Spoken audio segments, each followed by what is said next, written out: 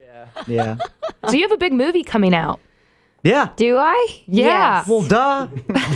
Next year Monte Carlo? Mm-hmm. Where'd you film it? in Budapest, Hungary, and then um, Paris, and then Get her Monte some Carlo. food. Some food, please. No, she, Uh, in, in Oh, my bad. In her. Oh no, Oh, okay. I thought you were throwing in there that you were. that was All right, funny. thanks. What I- Well, thanks. You're clever. you know, you've told a really good joke when people go, "That was funny." yeah.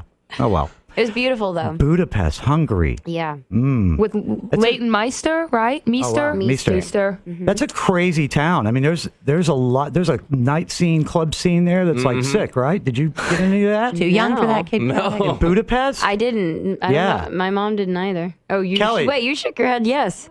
Do you remember when Vince Vaughn was dating Jennifer Aniston and he went over to Budapest and like just destroyed their relationship in Budapest? Not. I really didn't keep up with the Budapest incident. Me neither. Mm. Wait. How, what? What happened?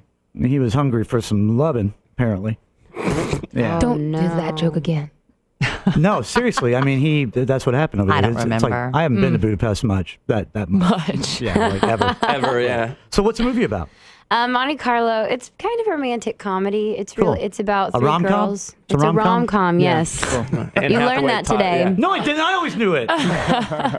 I was listening. oh, you are. Dang it. Do you think she's one of the coolest chicks ever? I do. I, do think too. she's absolutely beautiful Yeah. and very talented. So the movie is about. Um, it's it's about three girls who go over to Paris and they want to have this vacation and they want to have a good time. It ends up being a disaster, and they run into this British heiress that I also play, and uh, we kind of switch lives with her so that we can. How do you play two people? I don't. I mean, It's like Freaky Friday all over Kind again. of, yeah. I mean, does she does she look just like you?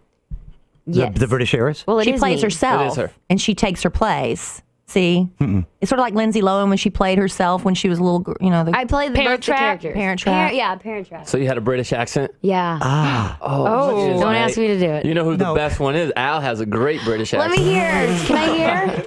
Oh my! Come on, why y'all got? Come on, Al.